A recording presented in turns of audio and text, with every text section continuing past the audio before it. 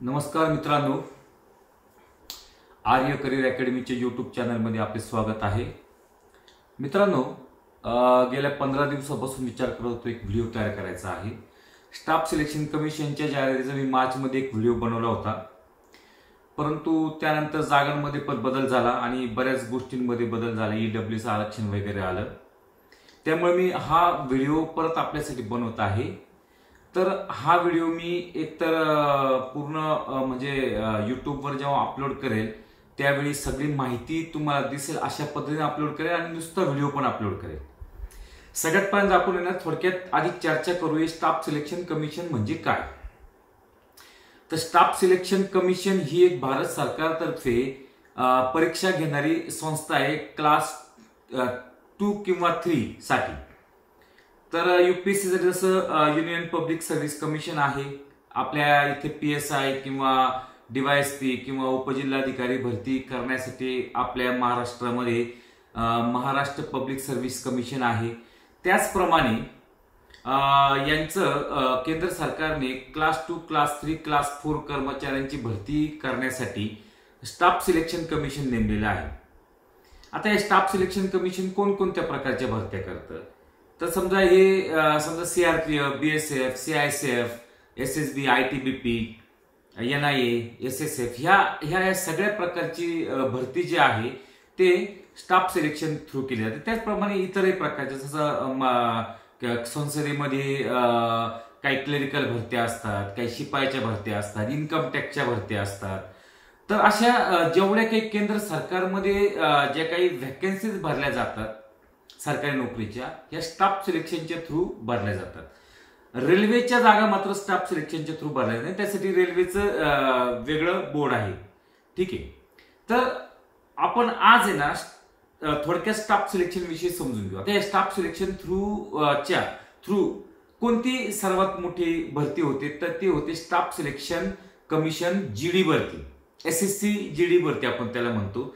S S C जीडीचा अर्थ होतो जनरल ड्युटी. जसं आर्मी जीडीची भरती असते ना तसंच केंद्र सरकारतर्फे इतरही जसं आर्मी काय करते आपल्या देशात संरक्षण करायचं काम करतं ना त्याच पद्धतीने त्यांच्या बरोबर इतरही काही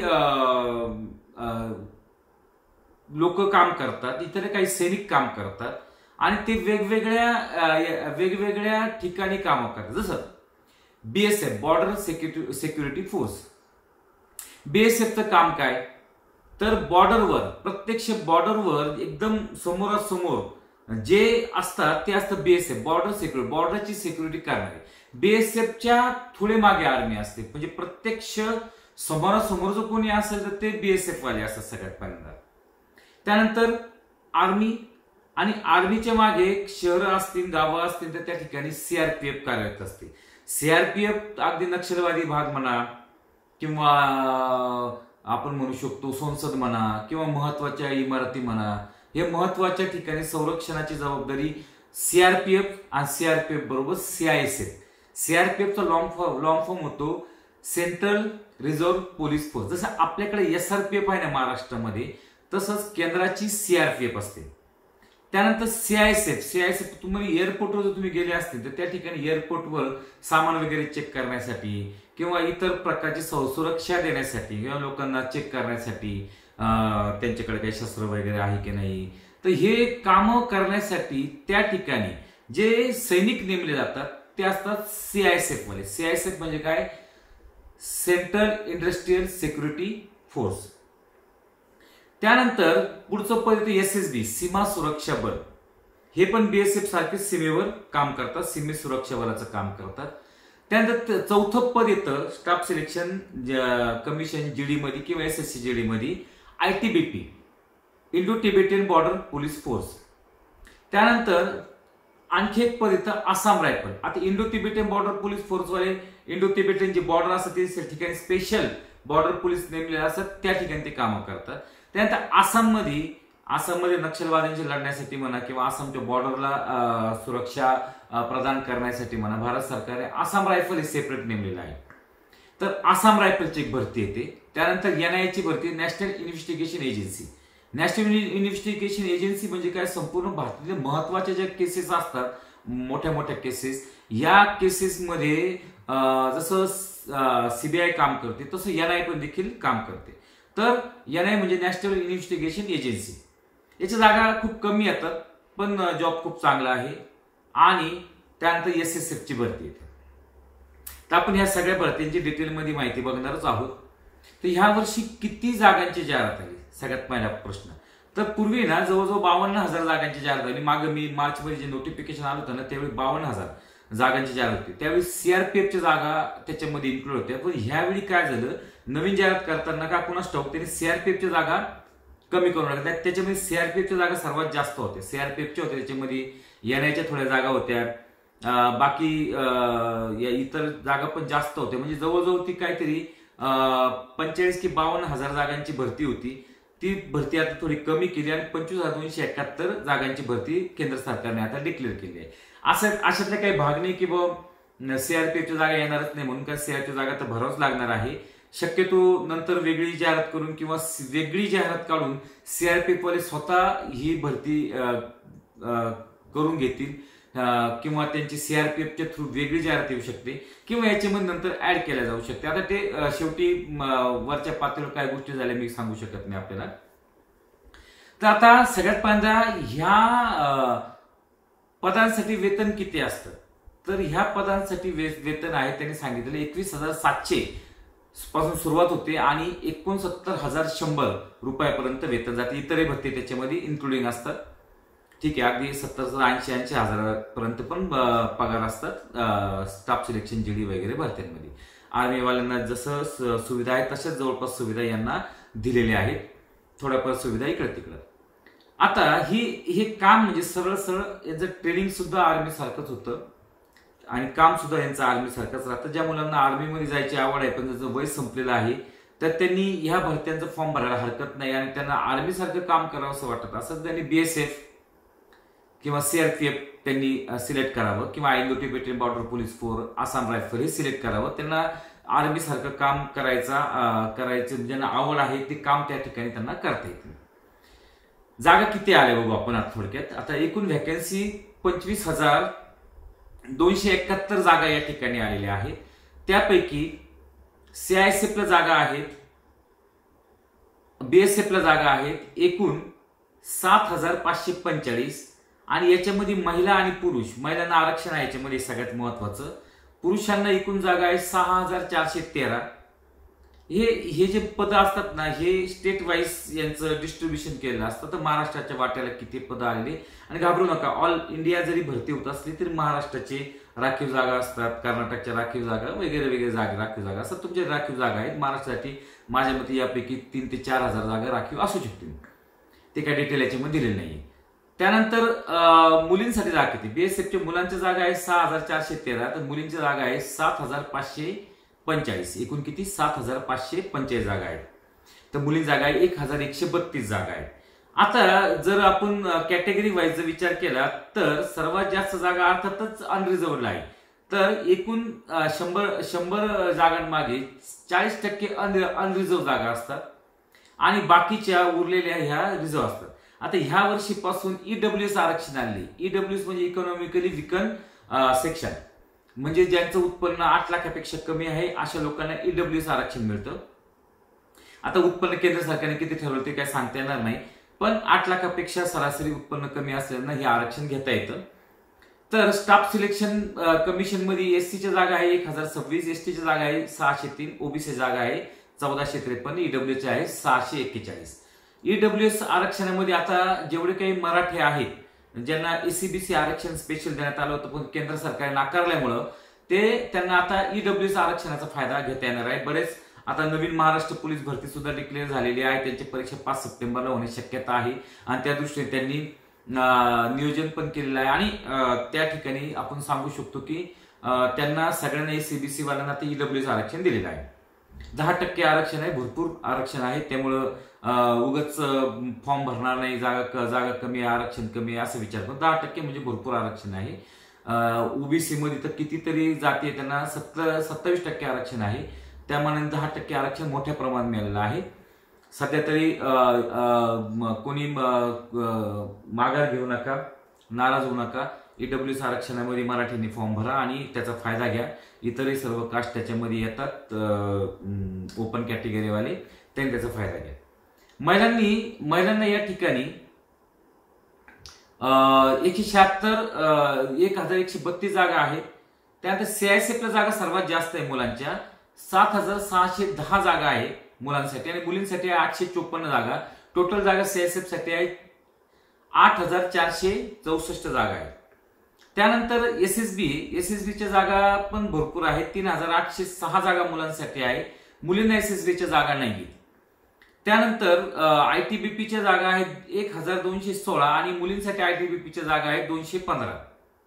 त्यानंतर आसाम रायफल जे आहेत त्यांच्या जागा आहेत तीन हजार एकशे पंच्याऐंशी आणि मुलींच्या जागा आहे सहाशे जागा आहेत याच्यामध्ये आसाम रायफलमध्ये. आता त्यानंतर एक नवीन जागा या ठिकाणी ऍड झालेल्या आहेत त्या आहे एस एस एफच्या जागा. एस एस एफच्या जागा आहेत हे जे फॉरेन आपले भारतीय जे फॉरेनमध्ये किंवा भारतीय पंतप्रधान कार्यालयातले जे मोठे अधिकारी आहेत जे काही डेलिगेट्स आहे त्या त्या सगळ्यांना सगळ्यांना सुरक्षा पुरवण्याच्या दृष्टीने एस एस एफ नावाचं एक मी पहिल्यांदाच वा, वाचलं आहे एस एस एफच्या जागा. तर ह्या जागा ह्यावर्षी इंट्रोड्यूस झालेल्या आहे. एकशे चौऱ्याण्णव जागा आहे. अर्थातच काम खूप चांगलं आहे.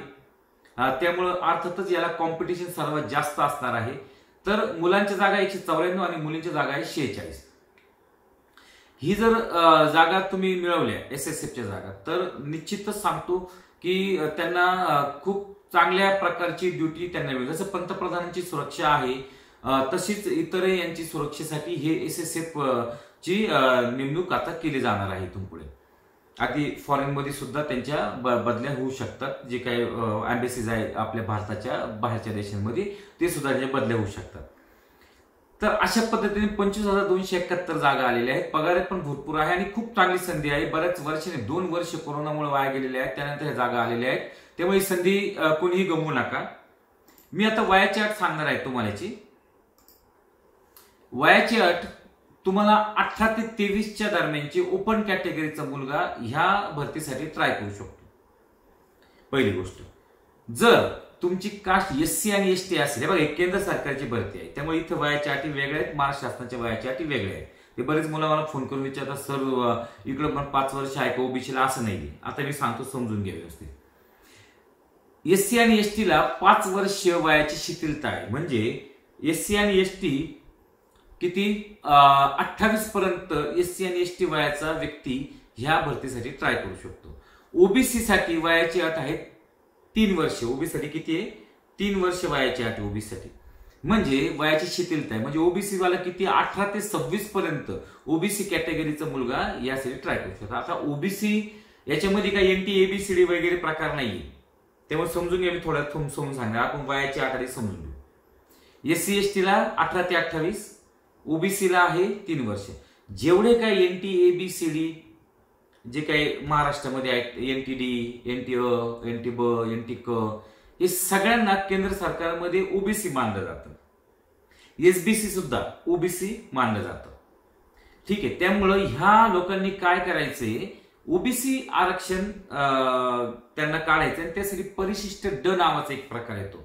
केंद्र सरकारच्या परीक्षांसाठी परिशिष्ट ड ते बघा परिशिष्ट ड जर तुम्ही काढलं ना तर तुम्ही दोन्हीसाठी का महाराष्ट्र शासन दोन्ही प्रकारच्या भरत्यांसाठी परिशिष्ट ड देतं त्याच्यावर जातीचा पूर्ण उल्लेख असतो एन टी एबीसीडी किंवा एसबीसी जे काय असतं ते पूर्ण उल्लेख केला असतो. त्यामुळे परिशिष्ट ड पहिले तुम्ही काढून घ्यायसाठी पहिली. अट तर परिशिष्ट ड काढणं हे तुम्हाला तहसीलदारांकडे. तुमचं परिशिष्ट तुमच्याकडे जे आता जाती प्रमाणपत्र आहे ते परिशिष्ट कच आहे. तुम्हाला परिशिष्ट ते जाती प्रमाणपत्र सबमिट नाही करायचे झेरॉक्स सबमिट करायचे अटेस्टेड आणि ते सबमिट करून तुम्ही परिशिष्ट ड तहसीलदारांकडून तुम्हाला काढून घ्यावं लागणार आहे. ही पक्की गोष्ट लक्षात ठेवा. आणि लवकरात लवकर काढून ठेवा कारण की फॉर्म भरण्याची शेवटची तारीख आहे एक सप्टेंबर. ही शेवटची तारीख आहे. आणि नंतर नंतर तुम्ही शेवटला फॉर्म भरून का आत्ताच फॉर्म भरून ठेवा. कारण नंतर नंतर काय होतं? गर्दी वाढायला लागते आणि नंतर फॉर्म सबमिट होत नाही. आता फॉर्म सबमिट करण्यासाठी त्यांनी उमंग नावाचं एक ऍप पण तयार केलं उमंग नावाचं ऍप तुम्ही प्ले स्टोरवरून डाउनलोड करा आणि त्या ऍपच्या सहाय्याने तुम्ही फॉर्म भरू शकता. त्यानंतर जे काही दंगली वगैरे मध्ये ज्यांचं निधन झालेलं आहे ज्यांच्या पालकांचं तर असे जे आहे किंवा एकोणीस चौऱ्याऐंशी लग्न झाली होती आणि त्यानंतर दोन हजार दोनला जंगल झाली दंगल झाली होती भारतामध्ये ह्या दंगलग्रस्त जे आहेत मुलं ह्यांना सुद्धा पाच वर्षाची वयाची सवलत आहे. त्यानंतर जे एकोणीस चौऱ्याऐंशीच्या दंगलीमध्ये जे काही मुलं आहेत ज्यांचे ज्यांचे पालक पालकांचा मृत्यू झालेला आहे दोन हजार दोनच्या दोनच्या जंगलीमध्ये आणि त्यातले जे ओबीसी असतील त्यांना आठ वर्षाची वयाची सवलत आहे. तर ठीक आहे वयाची सवलत तुम्हाला समजली असेल आता. त्यानंतर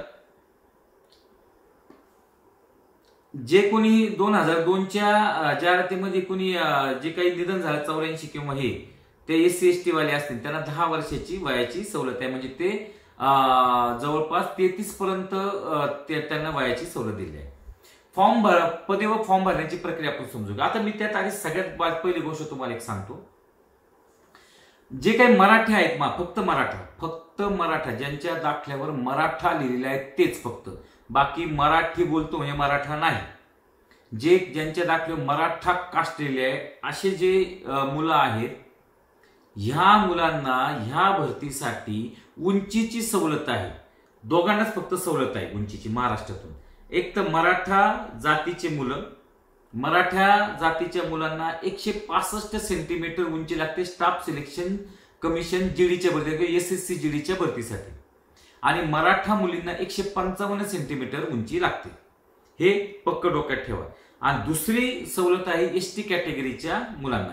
एस टी कॅटेगरीच्या मुलांना एकशे बासष्ट सेंटीमीटर उंची नंतर उंची परत सांगते एक्झॅक्टली आता मला आठवत नाही एवढं. एकशे बासष्ट किंवा एकशे त्रेसष्ट सेंटीमीटर एस टी कॅटेगरी मुला मुलांना लागते आणि मुलींना एकशे बावन्न सेंटीमीटर उंची लागते. उंची आपण परत येणार आहे त्यावेळी आपण चेक करू. आता पदे आणि फॉर्म भरायची प्रक्रिया काय काय आहे? तर ही परीक्षा जी आहे ना ही ऑनलाईन होणार आहे सगळ्यात पहिले. जवळजवळ पस्तीस ते चाळीस दिवस ही परीक्षा चालते. किती? पस्तीस ते चाळीस दिवस. पंचवीस दिवस मागच्या दोन हजार एकोणावीसला पंचवीस दिवस ही परीक्षा चालली होती. पस्तीस ते चाळीस दिवस ही परीक्षा चालते. आता ही परीक्षाचा फॉर्म भरताना तुम्हाला S S C dot N I C dot in याच्यावर तुम्हाला जाऊन पहिल्यांदा रजिस्टर करावं लागणार आहे. S S C dot N I C dot in W W W dot S S C dot N I C dot in यावर जाऊन तुम्हाला पहिल्यांदा रजिस्ट्रेशन करायचे रजिस्ट्रेशन केल्यानंतर तुम्हाला S S C dot N I C dot O R G oblique W R western region आता मी परत website पण तुम्हाला दाखवणार आहे. दुसरा जो व्हिडिओ आहे त्याच्यामध्ये तो झुमर तयार करतोय त्यामुळे तुम्हाला दिसणारे कोणकोणत्या वेबसाईट आहे इकडे तिकडे माझ्याकडनं होऊ शकतं. तर त्यावरून तुम्ही वेस्टर्न रिजनचे मुलं आपण आपण वेस्टर्न रिजनमध्ये मोडतो. म्हणजे संपूर्ण महाराष्ट्र गुजरात गोवा हे वेस्टर्न रिजनमध्ये मोडतं. तर वेस्टर्न रिजनसाठी वेगळी वेबसाईट आहे त्या ठिकाणी जाऊन तुम्हाला फॉर्म सबमिट करायचं हे लक्षात घ्या पहिली गोष्ट. तर ही परीक्षा कॉम्प्युटर बेस होणार आहे. जवळजवळ तीस ते चाळीस दिवस ही परीक्षा चालते. रोज तीन टप्प्यामध्ये परीक्षा चालते. सकाळचं सेशन दुपार सेशन आणि संध्याकाळचं सेशन अशा तीन सेशनमध्ये परीक्षा चालते. दीड दीड तासाचा पेपर असतो. शंभर मार्काचा पेपर पडतो. दीड दीड तासाचा पेपर असतो. निगेटिव्ह मार्किंग सिस्टीम आहे. शून्य पॉईंट पंचवीस टक्क पंचवीस मार्क कट केले जातात जर तुमचं उत्तर चुकलं तर. निगेटिव्ह मार्किंग सिस्टीमचा पेपर कसा सोडवायचा याच्यावर मी सेपरेट लेक्चर घेणार आहे. तुम्ही माझ्या युट्यूबच्या व्हिडिओला सबस्क्राईब करून ठेवा म्हणजे ते लेक्चर तुम्हाला मिळेल कारण ते अत्यंत महत्त्वाचे लेक्चर आहे ते कुठंच उपलब्ध नाही जर निगेटिव्ह मार्किंग सिस्टीमचा पेपर कसा सोडवायचा याचं मी सेपरेट लेक्चर तुम्हाला देणार आहे. त्यानंतर सगळ्यात कशी प्रोसेस आहे परीक्षेत सगळ्यात पहिला तुमचं आहे ना फॉर्म भरला जाईल. फॉर्म भरल्यानंतर तुम्हाला सहा महिन्यांनी सहा महिन्यांनी तुम्हाला कॉल येईल. कॉल आल्यानंतर सहा महिन्यांनी तुम्हाला कॉल येईल. सहा महिन्यांनी कॉल आल्यानंतर तुम्हाला फिजिकलला बोलवलं जाईल. याच्यामध्ये फिजिकल फक्त पासिंग पुरतं असतं. फिजिकलची माहिती मी थोड्या सांगणार आहे तुम्हाला. आणि त्यानंतर तुमचं मेडिकल होणार आहे. आणि हे मेडिकलमध्ये जे फिट असतील तेच तुम्हाला. आता मेडिकलचं सेपरेट लेक्चर आहे माझं.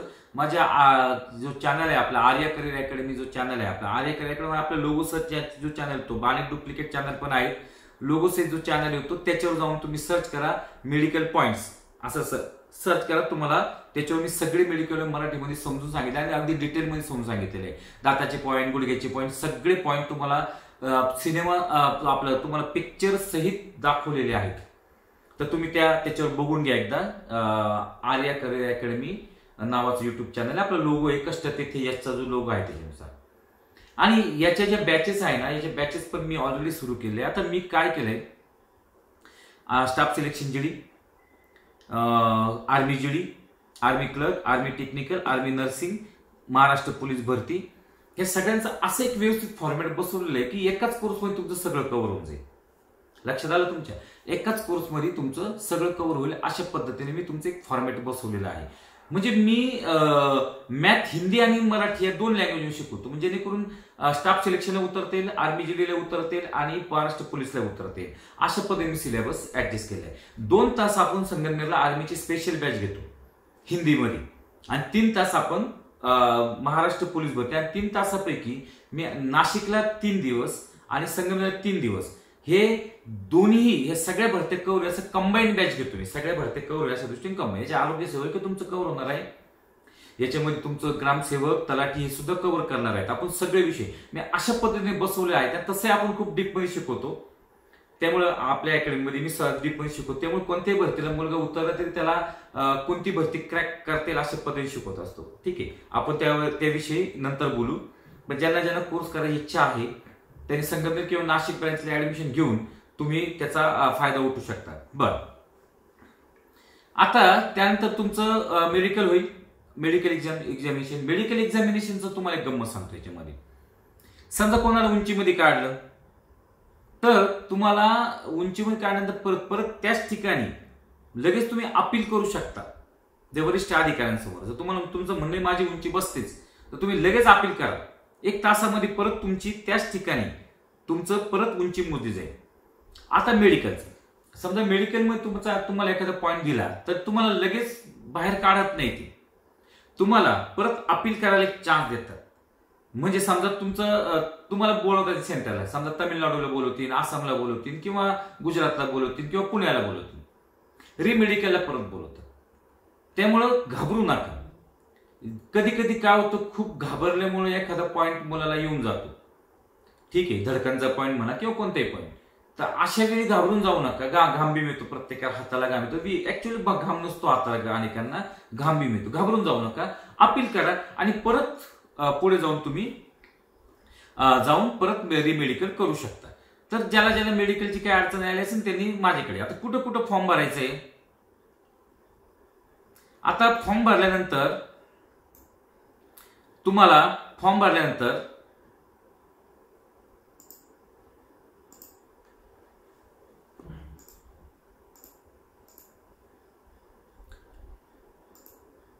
हा फॉर्म भरल्यानंतर तुमचं ऍडमिट कार्ड तुम्हाला कुठे भेटेल?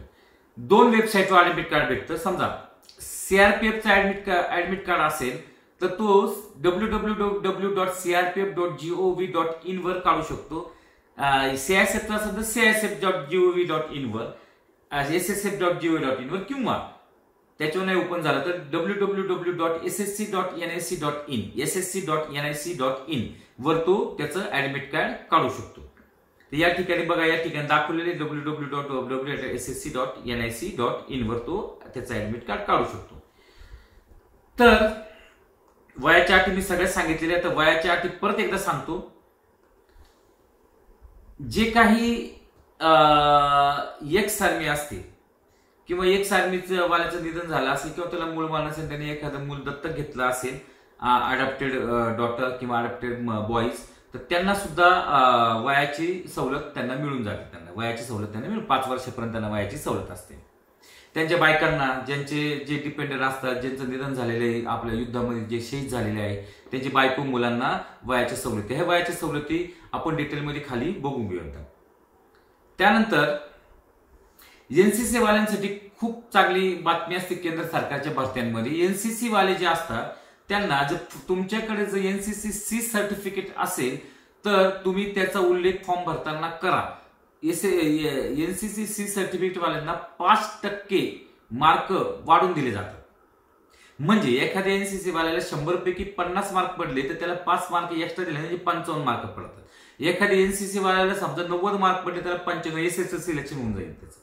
एनसीसी वाल्यांना काय? पाच टक्के जास्त मार्क दिला तर एनसीसी बी जे असेल तुमच्याकडे एनसीसी बी त्याला तीन टक्के एनसीसी ला पाच टक्के एनसीसी सी ला पाच टक्के एनसीसी बी ला तीन टक्के एनसीसी ए ला दोन टक्के त्यानंतर,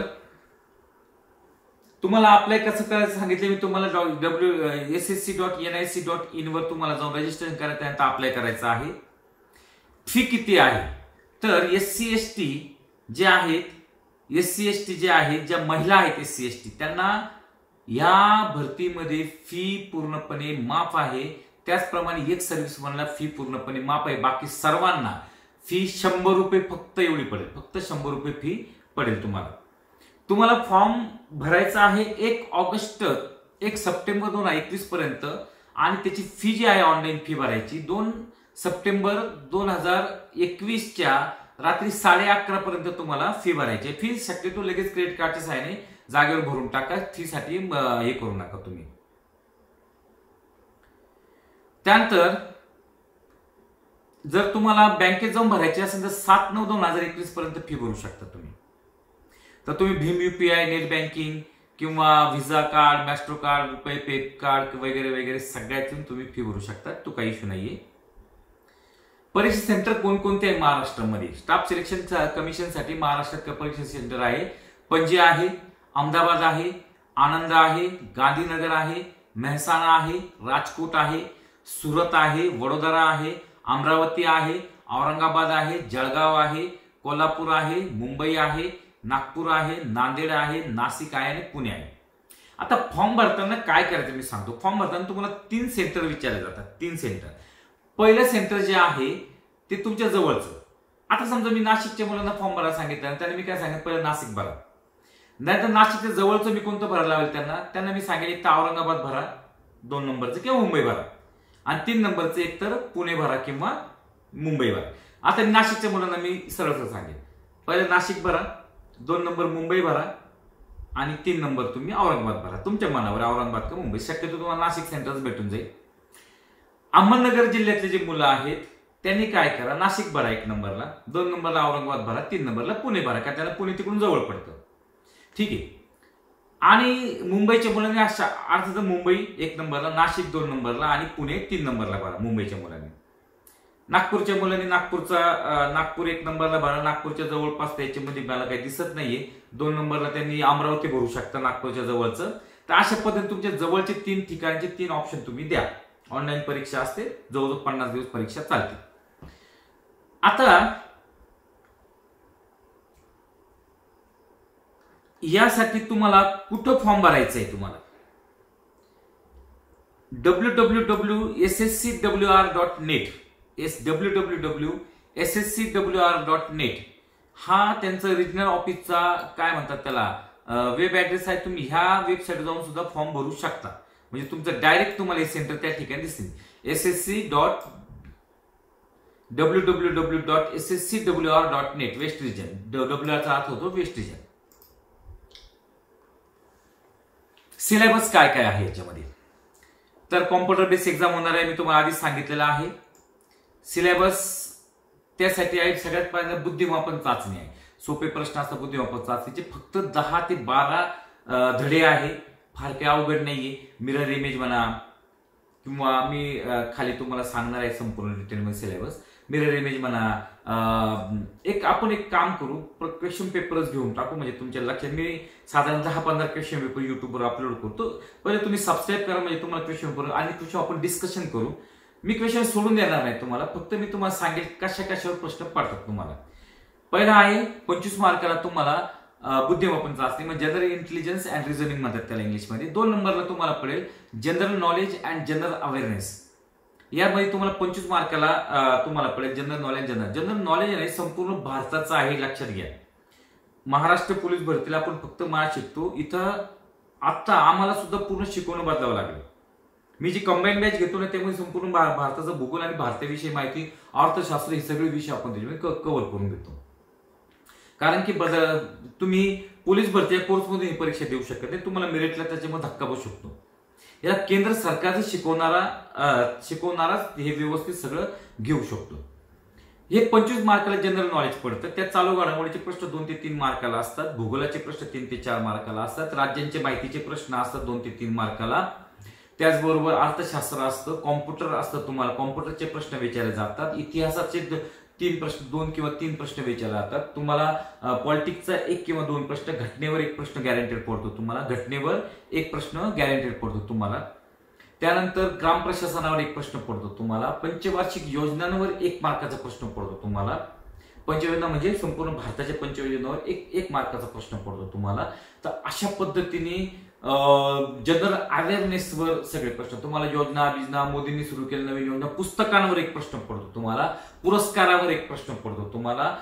त्याचबरोबर कुणी प्रतिष्ठित व्यक्ती निधन झाला असेल किंवा नियुक्ती झाली असेल तर त्याचा एक प्रश्न पडतो तुम्हाला.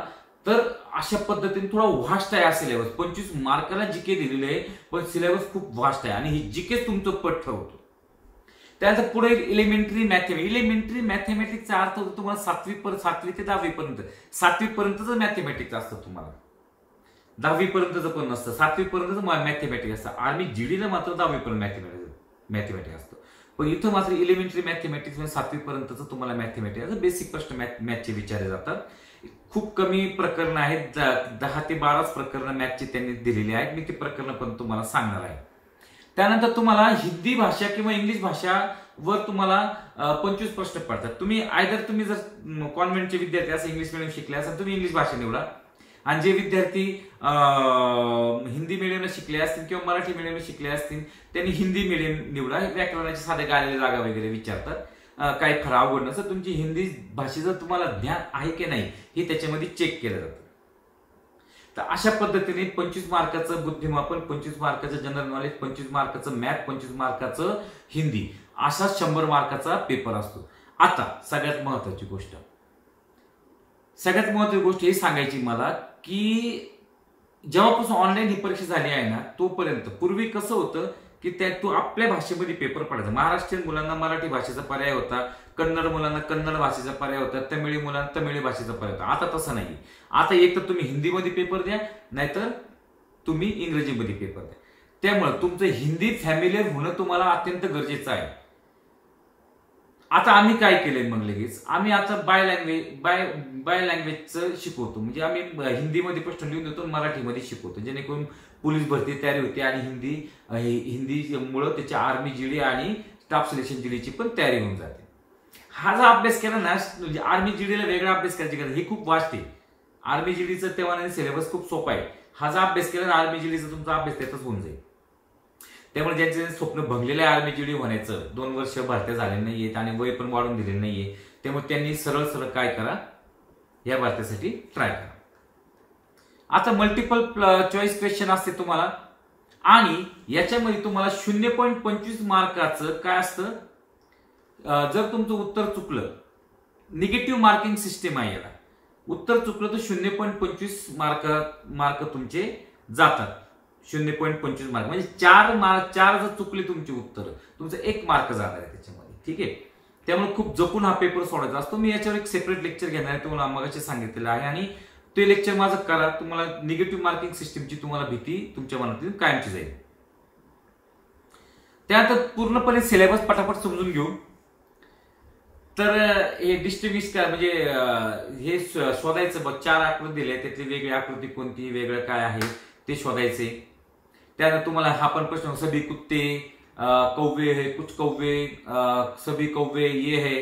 अशा प्रकारचे तुम्हाला जे प्रश्न पडतात ना काही माणसे पोलीस आहे सर्व पोलीस माणसे नाही अशा प्रकारचे प्रश्न असतात प्रश्न असतात व्हर्बल नॉन व्हर्बल अशा प्रकारचे प्रश्न एक मार्काचा गॅरंटी पडतो तुम्हाला. त्यानंतर तुम्हाला आरशाच्या आकृत्या त्यानंतर तुम्हाला आकृतीमधून एक आकृती दिलेली असते ती आकृती पूर्ण करायचं. नातेसंबंध एक प्रश्न पडतो तुम्हाला. त्यानंतर तुम्हाला गणितावर एक प्रश्न पडतो गणितावर. म्हणजे कुठं प्रश्न पडतो तुम्हाला?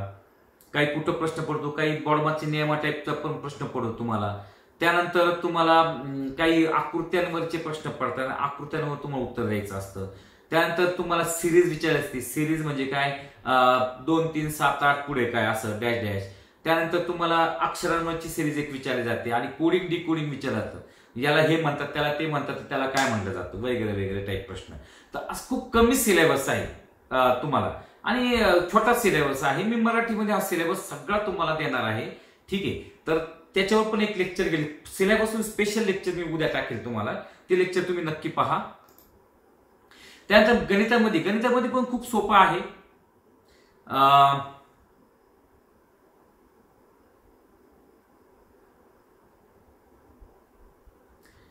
आधी जीके समजून घेऊ. जीके आले आता. जीके मध्ये काय अस- काय आहे तुम्हाला बघा? तुम्हाला सगळ्या चालू घडामोडीचा एक प्रश्न गॅरंटेड पडतो. रोजच्या रोज जे काही घडामोडी घडतात ना जगात आणि भारतामध्ये त्याच्यावर एक प्रश्न गॅरंटी पडतो. जगाच्या भूगोलावर एक प्रश्न असतो हा. त्यानंतर विज्ञानावर एक प्रश्न असतो. जे काही वैज्ञानिक घडामोडी झालेल्या आहेत किंवा विज्ञानावरचे एक प्रश्न विज्ञान एक नाही दोन प्रश्न पडतात विज्ञानावर. श- शक्यतो मानव शा- मानव शास्त्रावर एक प्रश्न पडतो तुम्हाला. त्यानंतर इतिहासावर एक प्रश्न संस्कृतीवर एक प्रश्न. तुम्हाला नृत्य नृत्यावर एक प्रश्न गॅरंटेड पडतो. संगीत नृत्य किंवा त्या त्या राज्याचे संगीत नृत्य लोकनृत्य याच्यावर एक प्रश्न गॅरंटेड पडतो. जॉग्रफीवर एक प्रश्न इकॉनॉमिकवर एक प्रश्न म्हणजे भूगोलावर एक प्रश्न अर्थशास्त्र एक प्रश्न. जनरल पॉलिटी म्हणजे राज्यशास्त्र एक प्रश्न घटनेवर एक प्रश्न पडतो. घटना राज्यशास्त्र दोन्ही वेगळी घटना पूर्ण वेगळी करायची आहे. घटनेवर एक नाही दोन दोन प्रश्न पडलेले आहेत. इकॉनॉमिक सीन म्हणजे काय अर्थशास्त्र. म्हणजे ज्या- काय जे काही चाललेलं आहे अगदी तुम्हाला याच्यामध्ये अर्थसंकल्प सुद्धा विचारला मी कालच मुलांना अर्थसंकल्प वर्गात पूर्ण अर्थसंकल्प लिहून दिला महत्त्वाच्या घडामोडी. अगदी गव्हाचे दर सुद्धा विच- एम गव्हाचं एमएसपी म्हणजे मिनिमम सेलिंग प्राइस सुद्धा विचारलं. म्हणजे मला पूर्ण बाजरी गहू तांदूळ याचं मिनिमम सेलिंग प्राइस लिहून द्यावे लागेल. ठीक आहे? त्यानंतर हे तुम्हाला स्पेशल यासाठी अभ्यास करा. यांनी जरी म्हटलं होतं की याला काही स्पेशल स्टडी करावा लागत नाही पण स्पेशल स्टडीज करावा लागतो. ठीक आहे. हे रोजच्या रोज पेपर वाचणाऱ्यांना हे जरा सोपं जाईल. ठीक आहे. गणिताचा अभ्यासक्रम गणिताचा अभ्यासक्रम खूप छोटा आहे. संख्या पहिलं प्रकरण पहिले दोन प्रकार संख्या संख्या शास्त्र करोड बिरोड पहिल्या काय अंकांची बेरीज करा वगैरे वगैरे. कॉम्पिटिशन ऑफ होल नंबर बेरजा वगैरे बेरीज बेरीज गुणाकार भाकार चे प्रश्न पूर्णांक अपूर्णांक डेसिमल आणि पूर्णांक अपूर्णांक आणि पूर्णांक युक्त अपूर्णांक अशा याच्यावरचे प्रश्न पडतील तुम्हाला. अं, टक्केवारीवर एक प्रश्न पडेल नफा तोट्यावर एक प्रश्न पडेल गुणोत्तर आणि प्रमाणावर एक प्रश्न पडेल सरासरीवर एक प्रश्न पडेल इंटरेस्ट म्हणजे शेकडेवारीवर एक प्रश्न पडेल. त्यानंतर डिस्काउंट डिस्काउंट म्हणजे जी जे काय सूट सुटीवर एक प्रश्न पडेल. त्यानंतर मॅन्शुरेशन ठीक आहे हे थोडा वेगळा भाग आहे मी सांगेल समजून तुम्हाला नंतर. सिलेबस डिटेल समजून सांगताना. टाइम अँड डिस्टन्स म्हणजे वेळ वेळ आणि अंतर याच्यावर प्रश्न. रेशो अँड टाइम वेळ आणि गुण वेळ आणि गुणोत्तर वगैरे आणि टाइम अँड वर्क वेळ आणि काम. खूप कमी सिलेबस आहे एकूण दहा ते बारा प्रकरणं आहेत याच्यावर तुम्हाला अभ्यास पडेल. त्यानंतर इंग्रजी आणि हिंदीमध्ये काय विषय नाही तुम्हाला बेसिक हिंदी चांगलं जमतं ना पिक्चर वगैरे पाहता तुम्ही रोज बस. त्यात तुम्हाला हिंदी बऱ्यापैकी फेमिलर आहे आणि महाराष्ट्रीयन प्रत्येक माणूस बऱ्यापैकी हिंदी समजू शकतो जरी बोलता नाही आलं तरी. तर ठीक आहे तुम्हाला याचं पण याच्यावर स्पेशल लेक्चर घेईल कसा अभ्यास करायचा. स्टाफ सिलेक्शनचं उद्याच्या याला सगळं येऊन जाईल. त्यानंतर फिजिकल एफिशियन्सी टेस्ट फक्त पासिंग पुरती असते. त्याच्यामध्ये काय काय असतं बघा. तुम्हाला पाच किलोमीटर फक्त चोवीस मिनिटाच्या आत पूर्ण करायचं आहे. अगदी पोलीस भरती करणारा कोणताही मुलगा जर व्यवस्थित वजन कंट्रोलमध्ये असेल सहज पडू शकतो. आणि मुलींसाठी साडेआठ मिनिटात दीड किलोमीटर पळायचे. दीड किलोमीटर पळायचे. तर पाच किलोमीटर चोवीस मिनिटात मुलांसाठी. पोलीस भरतीचे मुलं तर सोळा सोळा अठरा अठरा मिनिटात क्लिअर करतात. चोवीस मिनिटं म्हणजे खूप जास्त दिलेले आहे. आणि मुली तर पोलीस भरतीच्या दीड किलोमीटर आठशे मीटर पुरी सहजासहजी तीन मिनिटात पूर्ण करतात. ठीक आहे जेवढ्या काही मुलींची मी टायमिंग देतो प्रत्येक वेळी. तर त्यांना साडेआठ मिनिटात एक पॉईंट सहा किलोमीटर म्हणजे आरामशीर पूर्ण करू शकतील ते. त्यानंतर उंची. मराठा आणि एस टी सोडले ना तर बाकी सगळ्यांसाठी उंची एकशे सत्तर आहे. ही महाराष्ट्र पोलीस भरतीची माहिती देते तुम्हाला स्टाफ सिलेक्शनची देतो. महाराष्ट्र पोलीस भरतीला सगळ्यांना एकशे पासष्ट इथं किती आहे? एकशे सत्तर सेंटीमीटर आहे. मुलींना उंची एक सत्तावन्न सेंटीमीटर आहे. एस टी आणि मराठा मुली सोडता. बाकी सगळ्या मुलींना किती आहे?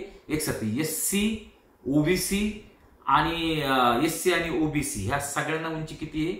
ओपन. एस सी ओबीसी आणि ओपन. यांना उंची ईडब्ल्यू एस पण त्याच्यामध्ये येतो. यांना उंची किती आहे? मुलांसाठी एक सत्तर आणि मुलींसाठी सत्तावन्न. आता एस टी एस टी आणि मराठा यांना उंची किती आहे? मुलांसाठी एकशे पासष्ट सेंटीमीटर आणि मुलींसाठी किती आहे? एकशे पंचावन्न सेंटीमीटर खाली दिलेलं आहे. बघा. जे एस टी मुलं आहेत ना त्यांना एकशे बासष्ट पॉईंट पाच. सॉरी मी एकशे पासष्ट म्हणलो. मराठा एकशे पासष्ट.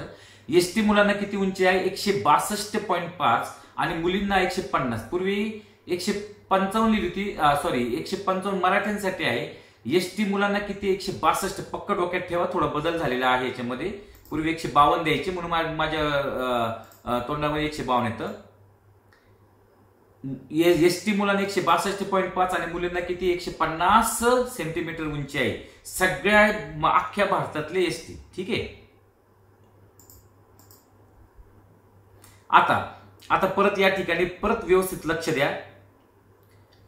ज्यांना फक्त व्हिडिओ दिसतोय त्यांनी दुसरा व्हिडिओ पाहावा. त्यात मी संपूर्ण दिसते तुम्हाला स्क्रीन माझी. जे काही मराठा इथं बघा स्पष्ट लिहिले मराठा. मराठा मुलांना उंची किती? एकशे पाच पासष्ट सेंटीमीटर आणि मराठा मुलींना उंची आहे एकशे पंचावन्न सेंटीमीटर ठीक आहे?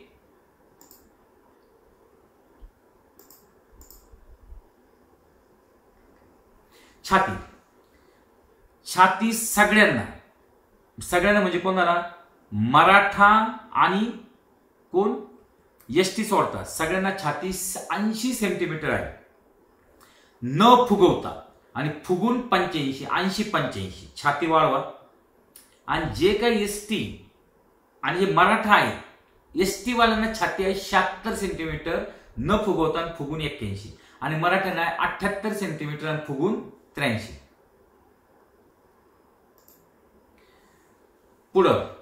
आता वजन किती लागतं? सरासरीनं मी सगळ्या मुलींना सांगेल या ठिकाणी की बाबा उंचीनुसार वजन घेतात पण अठ्ठेचाळीस वजन तरी करून ठेवा मुलींनी. किमान पंच्याच्या पुढे तरी करून ठेवा कारण वजनाचा प्रॉब्लेम नको या लाईन टायमाला तुमच्या उंचीनुसार वजन असतं त्या ठिकाणी. समजा एकशे पंचावन्न सेंटीमीटर उंची असेल त्या मानाने पाहिलं तर एकशे पंचावन्न किलो वजन पाहिजे त्यासाठी. पण ठीक आहे अठ्ठेचाळीस किलो वजन तुम्ही मिनिमम करून ठेवा त्यासाठी. अठ्ठेचाळीस आणि मुलांनी पन्नास किलो तरी वजन करून ठेवा. हे याच्यात दिलेलं नाहीये पण बऱ्याच वेळा हे वजन ते लावतात सरासरी. मेडिकल एक्झामिनेशनचं माझं लेक्चर तुम्हाला मी सांगितलेलं आहे तुम्ही ते पाहून घ्या. युट्यूबवर माझ्या आपल्या चॅनलवरच आहे ते लेक्चर काय काय लागतं? तुमची कागदपत्र चेकिंग मेडिकलच्या वेळी होऊन जाईल. त्या ठिकाणी तुम्हाला डोमेसेल लागेल. परमनंट रेसिडेंट सर्टिफिकेट लागेल दुसऱ्या रेशन आला असेल तर. त्यानंतर एनसीसी सर्टिफिकेट ज्यांनी भरला असेल एनसीसीचा फॉर्म त्यांना एनसीसी लागेल. ज्यांना एनसीसी नाही त्यांना काय घेत काय गरज आहे त्यांना? एनसीसीचे सवलत घेतली असेल तर. त्यानंतर कास्ट सर्टिफिकेट त्यानंतर तुम्हाला कास्ट सर्वे लागेल. मराठ्यांना मराठ्यांनी मराठा जाती प्रमाणपत्र काढायचे. एस टी कॅटेगरीचं जे प्रमाणपत्र आहे ते पुरेसे ठीक आहे? S T S T schedule ट्राईबचं त्यानंतर तुम्हाला मिनिमम पस्तीस टक्के मार्क पाडावे लागते मेरिट लिस्ट येण्यासाठी पण मेरिट जास्त जाते डोक्यात ठेवा. त्यानंतर मी बाकी एनसीसीची माहिती तुम्हाला दिलेली आहे. आता तुम्हाला फॉर्म भरताना ना प्रिओरिटी द्यायची असते. तर प्रिओरिटी देताना सगळ्यात पहिला तुम्ही कोणती प्रिओरिटी द्या एस एस एफ द्या. सगळ्यात प्रिओरिटी दिल्याने तुमचं पद जाणार नाही.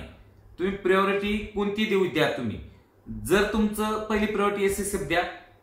दुसरी प्रिओरिटी तुम्ही सीआयएसएफ द्या.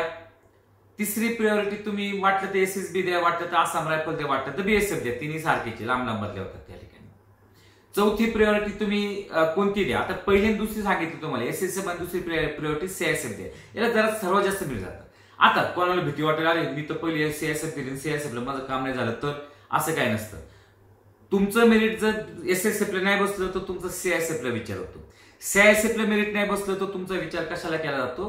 तुमचा विचार त्यानंतर बीएसएफला केला जातो. म्हणजे तुम्ही जे प्रायोरिटी द्या बीएसएफला नाही बसलं तर एस एस बीला त्याला नाही बसलं तर आसाम रायफलला तर तुम्हाला तुम्ही प्रायोरिटी कोणती द्या त्याने काही प्रॉब्लेम त्यामुळे सगळ्यात आधी प्रायोरिटी तुम्ही एस एस एफ एक नंबरला दोन नंबरला तुम्ही कोणती द्या?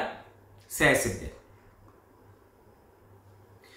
तर मित्रांनो मी स्टाफ सिलेक्शन जीडीची पूर्ण माहिती या ठिकाणी तुम्हाला दिलेली आहे. माझी इतरही आर्मी जीडीचे लेक्चर तुम्ही युट्यूबवर बघा. तर मित्रांनो माझं लेक्चर जर तुम्हाला आवडलं असेल आणि तुम्हाला या माहितीतून तुम्हाला काही एक्स्ट्रा माहिती मिळाली असेल फॉर्म भरताना काही अडचण आली असेल फॉर्म भरतानाची अडचण सुद्धा मी तुम्हाला सांगणार आहे. समजून ती पण माझ्याकडे आहे. तर मी थोडक्यात एक आधी पहिले समजवतो फॉर्म कसा भरायचा. सगळ्यात पहिली गोष्ट एक लक्षात ठेवा तुमचं वय बसत नसेल तर फॉर्म भरू नका. उगाच मला परीक्षा देऊन बघतो म्हणून. म्हणून देऊन बघतो. एकदा रजिस्ट्रेशन झालं ना स्टाफ सिलेक्शनचं एकदा रजिस्ट्रेशन झालं ना परत रजिस्ट्रेशन होत नाही. आणि तुम्ही जर आता खोटी जन्मतारीख टाकून जर फॉर्म भरला तर तुमचं परत रजिस्ट्रेशन होणार नाही. पुढच्या वर्षी तुम्हाला फॉर्म भरता येणार नाही हे पक्क टाक लक्षात ठेवा. तुमचं रजिस्ट्रेशन फक्त एकदाच होतं त्यामुळे तुमचं वय बसत असेल तरच फॉर्म भरा. माहिती डबल चेक करा. टक्के कॅटेगरी सायबर कॅफेमध्ये फॉर्म भरा असेल तर फॉर्म त्याच्याकडे देऊन येऊ नका. त्याच्या शेजारी बसून फॉर्म भरा. किंवा मोबाईलवर तुम्हाला मला सांगितलेलं उमंग नावाचं जे ऍप आलेलं आहे ना त्या ऍपवर फॉर्म भरा. फॉर्म भरणं ही सगळ्यात पहिली अट आहे. आणि त्यात काहीच चुका होता कामा नये हे पक्क लक्षात ठेवा.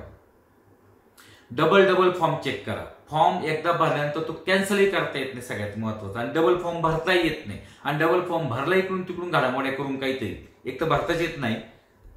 काहीतरी चा चालेबाजी करून जर भरला आणि पकडलं गेलं तर तुमचं झालेलं सिलेक्शन कॅन्सल होऊ शकतं. त्यामुळं फॉर्म भरताना खूप चांगली काळजी घ्या. फॉर्मचं फॉर्मॅट पण आहे माझ्याकडे. मी उद्याच्या लेक्चरला परत फॉर्म फॉर्म कसा भरायचा सगळ्या कॅटेगरीची माहिती तुम्हाला उद्या देणार आहे. आणि जर काळजी करू नका समजा तुमच्याकडून चुकलं असेल काय एखादी कॅटेगरी टाकणं तुम्हाला ओपन मी धरलं जाईल त्या ठिकाणी. टेन्शन घेऊ नका तुम्हाला मेरिटमध्ये ओपन मी टाकलं जाईल. चाळीस टक्के जे उरलेले जागा आहेत ओपनचे त्याच्यामध्ये टाकलं जाईल. त्यामुळे काही काळजी करू नका असं काही टेन्शन घेऊ नका. एखाद्याकडून फॉर्म चुकला असेल तर. आणि कॅन्सलची प्रोसिजर मला तरी काही सापडले नाही आणि जे मी पण बऱ्याच विचार कॅन्सलची प्रोसिजर काय? मला काही सापडली नाही. तर मित्रांनो माझं लेक्चर या ठिकाणी मी संपवतो. आर्यकर अकॅडमीच्या युट्यूब चॅनलला आपण नक्कीच भेट द्या. त्या ठिकाणी तुम्ही सबस्क्राईब करा चॅनलला तुम्हाला अशा प्रकारचे आणखी व्हिडिओ भरपूर व्हिडिओ तयार करून ठेवलेले आहेत. मी ग्राउंडचे गोळाफेकीचे रनिंगचे सगळे व्हिडिओ त्या ठिकाणी टाकलेले तुम्हाला त्याचा खूप फायदा होऊन जाईल. मी मेडिकलचे पण व्हिडिओ टाकलेले आहेत. ते पण बघा तुम्ही. सबस्क्राईब करा आणि माझा हा व्हिडिओ जास्त शेअर करा. म्हणजे जास्तीत मुलांपर्यंत ही माहिती पोचेल धन्यवाद. जय हिंद जय महाराष्ट्र.